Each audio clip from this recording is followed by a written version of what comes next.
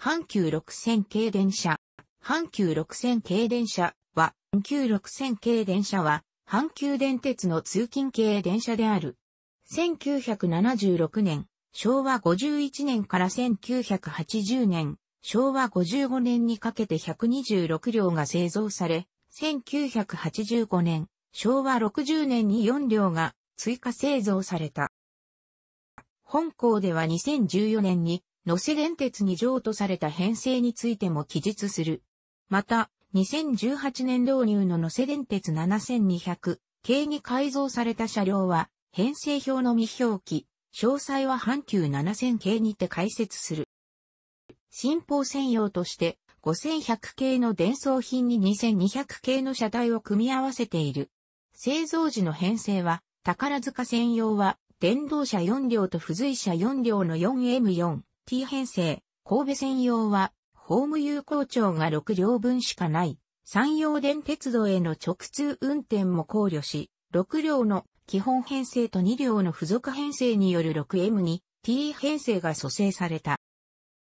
2008年9月時点では2200系からの編入者を含めて140両が在籍しており、その大半は宝塚線配置である。一部は今津南線、紅葉専用としてワンマン対応改造が施行され、3両編成となっている。車体は2200系と同様で、5100系と比べて窓の天地寸法が 50mm 拡大された。乗務員室直後の客室には窓を配さず、H のイニシャルマークが装着された。1992年には、新車掌の導入に伴い、新車掌に差し替えられている。6000回8両編成では、阪急発のアルミ車体が採用された。構え体は、アルミニウム、亜鉛、マグネシウムの三元合金による大型押し出し型材によって構成され、3.5トンの軽量化となった。他の6000系は普通高車体を採用したが、7300系の7302回以降で本格的にアルミ車体が採用された。まず最初に付随車2両が落成して6001階に組み込まれ、その後に残りの6両が6000階として落成し、戦術の2両もこれに組み込まれ、アルミ車体の8両編成となった。アルミ車として車内の製造名板は、ブルー系のものが使われている。正面貫通扉に付けられているヘッドマーク受けは、デビュー当時付いておらず、しばらくはヘッドマークを付ける際はアダプターを装備したが、後に標識受けを常設する形に改められている。電動機出力は 140kW で5100系と同一である。起動加速度は時速 2.8km S である。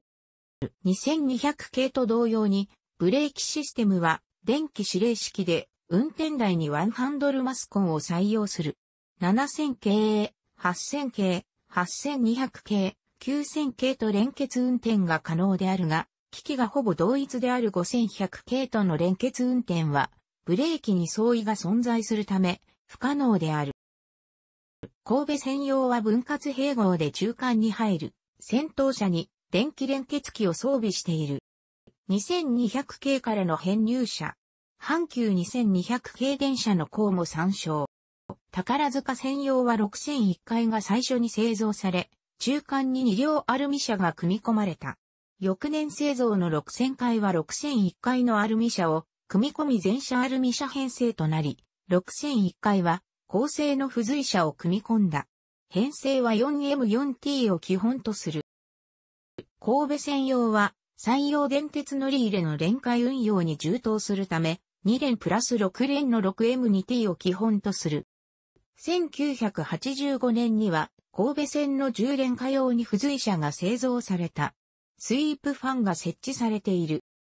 2200系や6300系と同様に、当初は白地に赤文字で急行の表示、特急の反転であったが、1982年に黒字にオレンジ文字の表示、急行に変更された。しかし、黒字に白文字の普通表示と区別しにくいとの苦情を受け、急行表示は1992年に現行の快速急行と同じオレンジ地に黒文字、急行に変更された。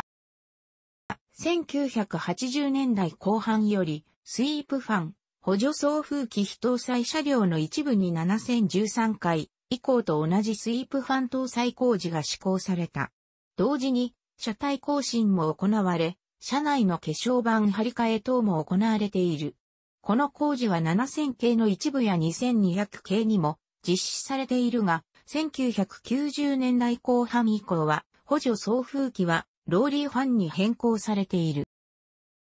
1993年から乗務員室後部の窓なし部分に小窓が設置された。当初は車体更新とは別メニューとして工事が進められたが、1995年頃に中断。それ以降は車体更新、またはワンマン化工事実施時に限って施行された。中断時点で宝塚線に所属していた編成はすべて施行されたが、当時神戸線に所属していた車両のうち、6012.6112、6013.6113、6025.6125、6050.6150が2017年現在も小窓未設置の状態で残っている。6005回と6006回は、1995年に前面の表示幕が大型化の改造が行われ、前方の視認性を向上を図っている。これは、同時期に行われた京都専用5300系の全面改造についても同様である。1995年1月17日、阪神、淡路大震災が発生し、当時今津北線で運用中であった6025階が被災し、2200系の1両が廃車された。代替車両の製造と被災車両の復旧の過程で、先に6010階と6011階に編入されていた車両も含め、2200系は、すべて本系列に編入することとなり、全体の両数が140両となった。1997年になって、野瀬電鉄への直通運転が開始されることになり、6011階が直通運転に使用する編成の予備編成として整備された。野瀬電鉄用の列車無線アンテナが増設され、位置も変更されている。1998年、山陽電鉄との乗り入れが廃止されることになり、当時設定されていた夕方の今津線、直通準急とその送り込み運用を除き、神戸線での6両編成運用が消滅することになった。1998年、平成10年から2002年、平成14年にかけ、検査の際に車体を再塗装するにあたり、6300、系や8000系と同様に、車体上部をアイボリート色に塗装された。これは7000系、7300系、5000系リニューアル車についても同様である。なお、6001回のみ一時期は8000系と同じ、側面にアイボリー塗装が試験的に施されたが、後に前面にもアイボリーが追加されるようになった。6600はアルミ車体の車両の車体更新を行うための事前調査をすることが目的で編成から外されたが、6600の車体の状態が予想以上に悪かったことから、更新は見送られて、そのまま旧車となり、2011年3月に廃車となった。6000系初の廃車であり、阪急では初めてのアルミ車の廃車である。2014年頃にはワンマン対応指向車の全消灯が LED のものに交換されている。さらに2018年頃には8両編成にも全消灯が交換された車両が出現している。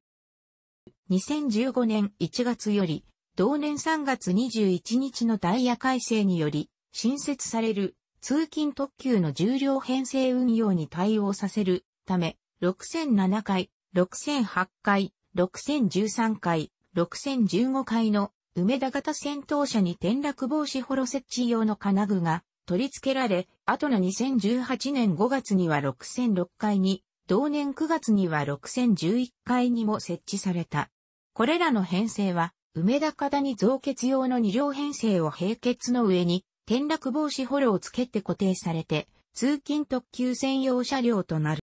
2016年夏頃より、これまで、未納線の予備指定編成であった5132回と5134回が、共に未納線線中の車両となったことに伴い6014回が未納線の予備指定編成となっており、8月には未納線で数日間運用された。これ以降も未納線専属の車両が検査等で運用を離脱した場合には6014回がダイソーに入ることがある。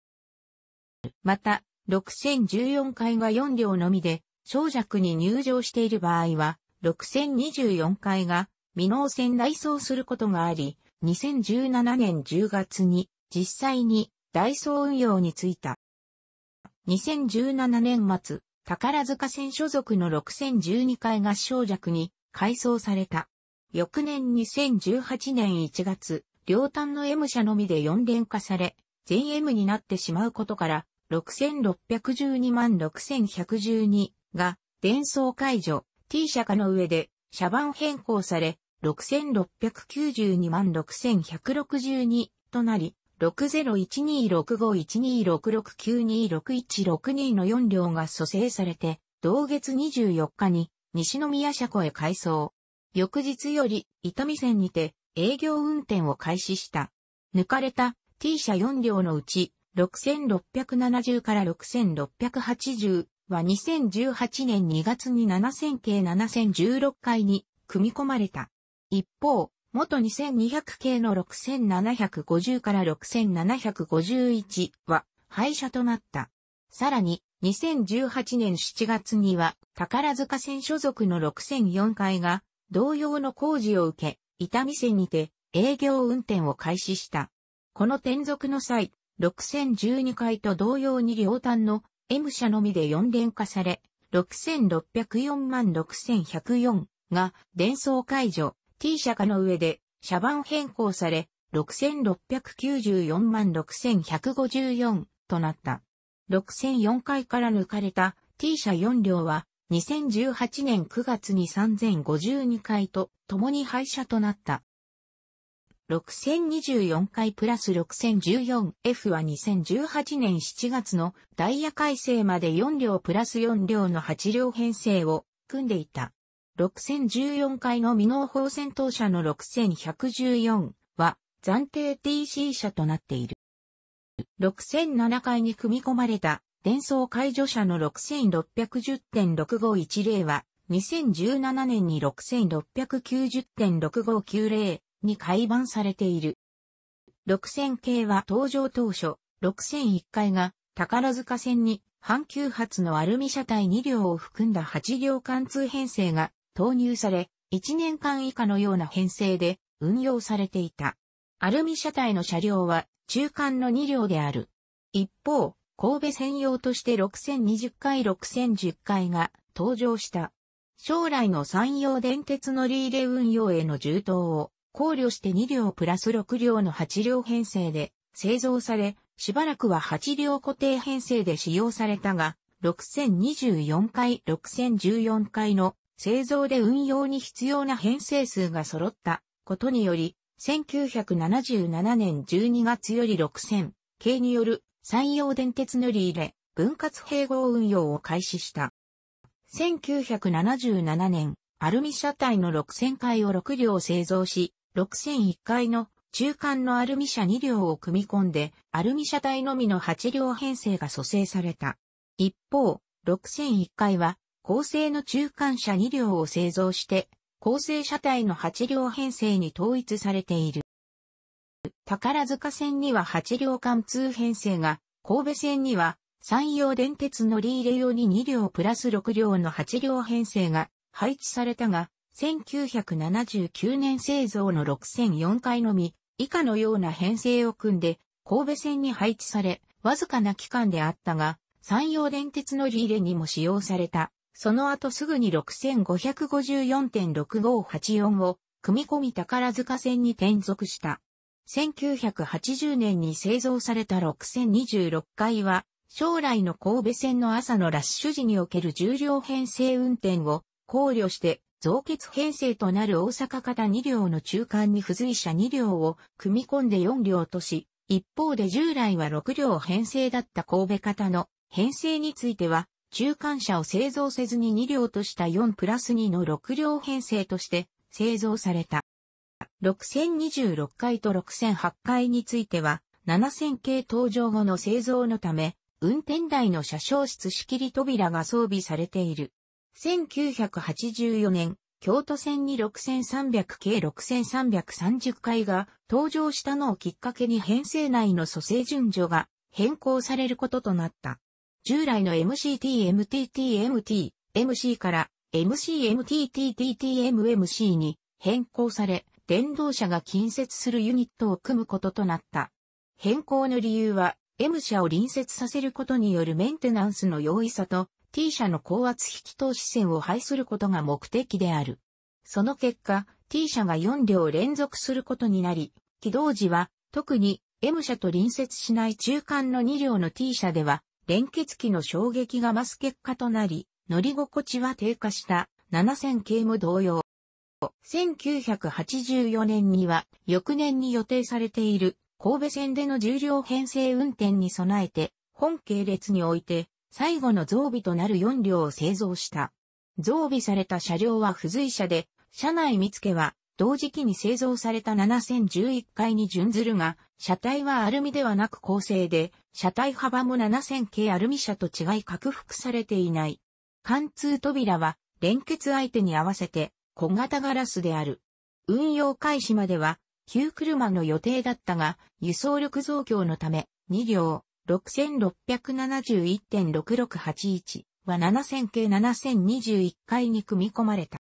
1985年、神戸線での重量編成運転が開始されたが、7021回に組み込まれていた2両はそのままとなり、代わりに2200系の VVVF インバータ試験車との差し替えで抜かれた中間付随車2750.271が編入され、増結編成に組み込まれた。一方、もともと重量編成化を見越して製造されたはずの6026回については、中間車が新造されないまま、逆に増結編成の予備車を兼務することとなり、編成も2プラス4の6両編成に変更されている。同時に6026と6116については、密着連結機、電気連結機に交換された。1987年から1988年にかけて神戸線の重量編成運転が大幅に増加することになった。この時、本系列による4両増結編成は中止され、その中間に組み込まれていた6670.6680及び2750万2751は7000系に編入された。なお、増結用2両編成で4両を組み、重量編成の増結車として使用されていたこともある。6023から6123プラス6024から6124など、1992年、2200系の直波車による実用試験が終了した関係で、神戸専用の一部車両に編成外が発生した。直波試験を終了した2200系の直波制御の電動車はすべて電装解除の上付随となり、神戸線の本系列6010回6011回に編入され、当時宝塚線配置であった7002回7004回と交換の上で宝塚線に転属した後に6010回は神戸線に再度転属した。一方、2200系 VVVF 試験車は引き続き使用されたが、そのままだと4両編成となるため、本系列の6025から6125と編成を組むことになった。1998年の山陽電鉄乗り入れ中止に伴い、宝塚線所属者も交えて編成変更が行われた。紅葉線、今津南線のワンマン運転用に3両編成も蘇生され、3両編成は予備車の6026回も含めて6本が用意され、基本編成の6連は T 車2両を挿入して 4M4T の8連に再編成し、宝塚線に転属させることとなった。これは6000系の性能上神戸線では 4M4T で走行不能との判断によるものである。この関係で宝塚専用の6007階に2200系からの編入車や元6010階の中間車だった6610から6510の伝送を解除し暫定 T 車扱いとして組み込む改造も行われている。6760は旧車となった。また同じ頃、長らく今津線運用だった6025回が、6025から6125は7000系6両編成と連結して8両編成化され、また6050761675166150の4両は7000系中間車を組み込み、8両編成となって神戸本線に復帰した。2002年には宝塚線に転属した6024回と旧車になっていた6760との間で編成外が行われた。6614が6024回から外され6000回の6600と差し替えられ、6024回には変わって6760が編入された。この時6114の伝送は解除され、暫定 TC となった。一方、今津線の6016回と7000系と連結して、本線運用に入っていた6025から6125との間で編成替えが行わ、6016回が2両編成となって久々に増結運用に復帰した。1998年10月に松南線と紅葉線でワンマン運転用が開始され、6000系が充当されることとなった。編成は MCTMC の3両編成で予備も含めて3両編成6本にワンマン化改造を施行した。工事としては、車掌スイッチと途平回路の変更、運転台の泡開き度の施錠、会場の遠隔操作化などが実施されている。途平回路の変更により、開閉操作をした運転台以外の運転台からの開閉操作を可能している。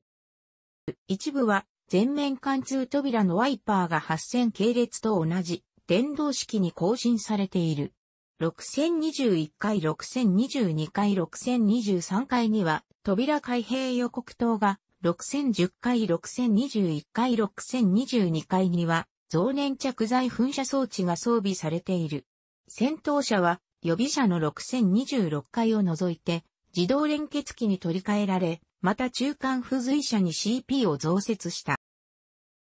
本系列も3300系などのようにリニューアルされている。最初にリニューアルしたのは6007階である。概要は側扉の窓を縦長に、車内化粧板は従来より濃いものに、床の模様を5010階と同じものにそれぞれ変更。また、車内案内表示機とドアチャイムを設置。冷房室外機器せ、カバーを高性ステンレス製に変更などである。6015階では扉上部に開閉予告灯を設置、貫通扉と乗務員室扉の車内化粧板も焦げ茶色に床の模様が茶色系のものになったほか、荷棚と CP の交換が行われた。なお、他のリニューアル車で採用された緑色の着色ガラスは採用されていない。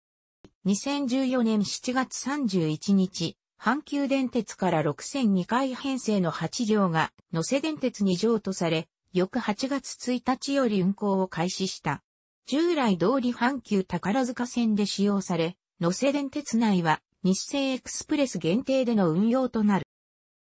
車体側面に野瀬電鉄の車掌が貼られたが、車体塗装や車両番号は阪急時代のままで変更は行われていない。編成正面には遺跡記念のヘッドマークが掲出された。日清エクスプレスは1997年の運行開始以来、阪急電鉄車両による型乗り入れであったが、この車両移籍により、相互乗り入れの形態となった。